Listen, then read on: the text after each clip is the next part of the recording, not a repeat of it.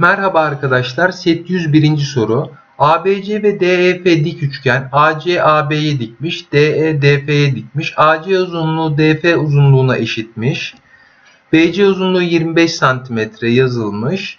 EF uzunluğu 29 cm, DE uzunluğu 21 cm olduğuna göre DEF üçgeninin alanı ABC üçgeninin alanından kaç santimetre kare fazladır diye soruluyor. Arkadaşlar şu FD uzunluğuna A dersem CA uzunluğu da ne olmalı? A olmalı. Şimdi şu FD üçgeninde bir Pisagor yazalım. Bakın A kare artı 21'in karesi eşittir 29'un karesi. A kare artı 21'in karesi kaçtı arkadaşlar? 441. 29'un karesi bu da 841. Attım arkadaşlar karşıya. A kare ne geldi? 400. Buradan A ne bulunur? Hangi sayının karesi 400'dür?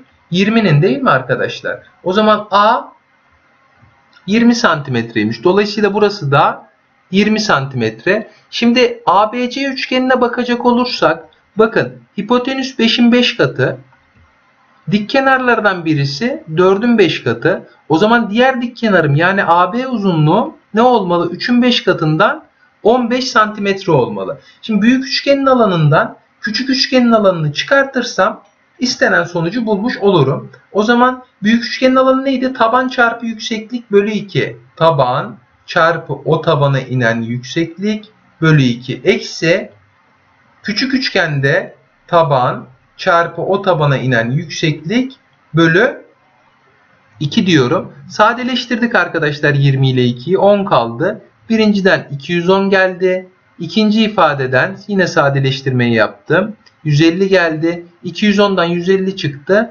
60 santimetre kare çıktı. Doğru cevabım D şıkkı oldu. İkinci soru. ABC ve DFC dik üçgen CD DF'ye dikmiş, AC AB'ye dikmiş. AB uzunluğu 8 cm, AD uzunluğu 5 cm, DF uzunluğu 12 cm verilmiş. Bakın arkadaşlar DF neresi? Şu uzunluk 12 santimetreymiş. ABED dörtgeninin alanı ile EFC üçgeninin alanı eşitmiş. O zaman ben buraya A dersem şu alana da ne demem lazım? A demem lazım. BC uzunluğu kaç santimetredir diye sorulmuş. Şimdi arkadaşlar bakın bu tip bir soruda şurada CDE üçgeninin alanını görüyoruz ya. CDE üçgeninin alanına S diyelim. Bakın buraya S dersem şu anda CAB üçgeninin alanıyla CDF üçgeninin alanı ne oldu? Eşit oldu arkadaşlar. Şimdi şu kenara bir H harfini verelim. Şuraya da A diyelim. Şimdi ABC üçgeninin alanını yazacak olursam taban belli 8 santimetre. Yüksekliğim belli arkadaşlar. H artı 5. Bakın 8 santimetrelik tabana inen yükseklik H artı 5'tir. Bölü 2. Eşitmiş. Neye eşit arkadaşlar? CDF üçgeninin alanına. Tabanım ne arkadaşlar? Tabanım 12 santimetre. Bakın şu uzunluk.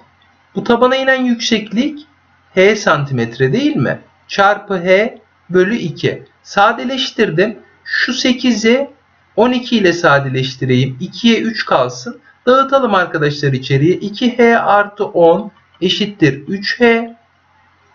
Buradan H ne geldi? 10 santimetre geldi. Bize sorulan yer neresiydi?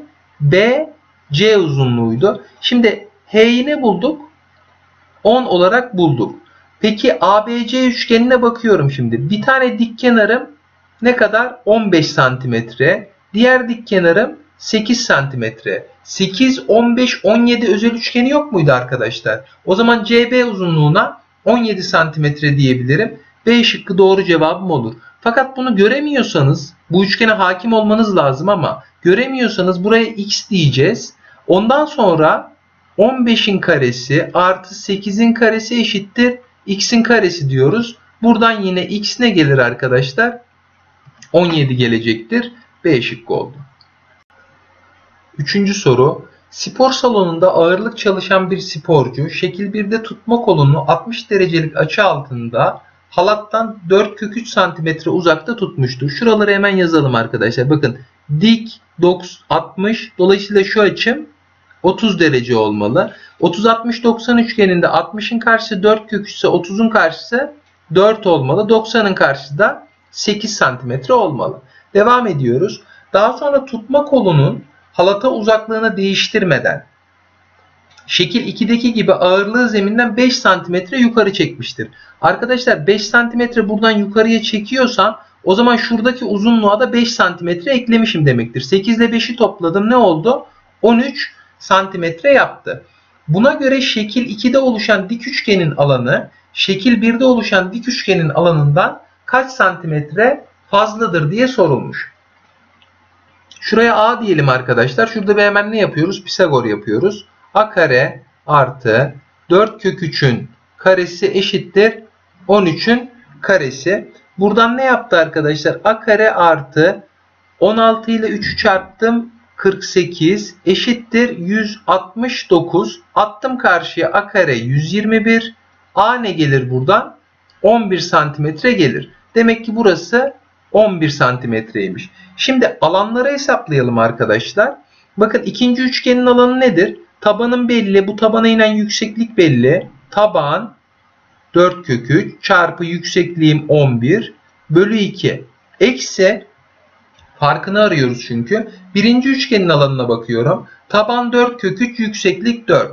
O zaman 4 kök 3 çarpı 4 bölü 2 diyeceğim. Sadeleştirmeyi yapayım 2. 2 kök 3 ile 11'i çarptım. 22 kök 3.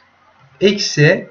Şurada sadeleştirmeyi yaptım. 2 kere 4 8. 8 kök 3 de buradan geldi. Çıkarıyorum arkadaşlar. Ne yaptı burası? 14 kök 3 yaptı. D şıkkı doğru cevabım oldu.